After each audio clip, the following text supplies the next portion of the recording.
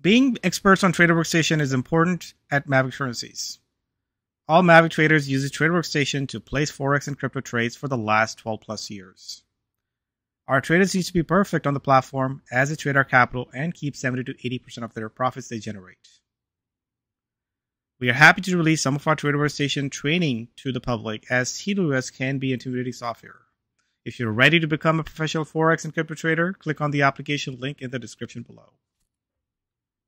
Now onto our Trader Workstation tutorial. In this video, we'll be going through how to download your activity statement from Interactive Brokers. So the quick way to do so is by logging into account management. And you can log into account management directly through Trader Workstation. Click on account in the top left corner, click on account management home. So this will take you to the client portal. And this is where you can click on performance and reports and click on statements.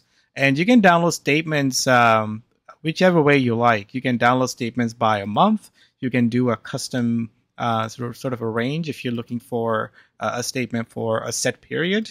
Um, and if you want to make it easier, you can just do month to date, and you can do it daily. If you're looking for uh, data that you have made trades in the past a day or so. So let's just say in this case, I do a custom uh, range, and I can go back and say I wanted I want it for uh, from August 1st till now. I have three different options. I can do a PDF, HTML, or CSV. So let's just say in this case, I want to download or I want to see a statement in just a browser version here. So I can click on view and right there is going to generate that report. Um, and I'll be able to just see uh, whatever information I want to see.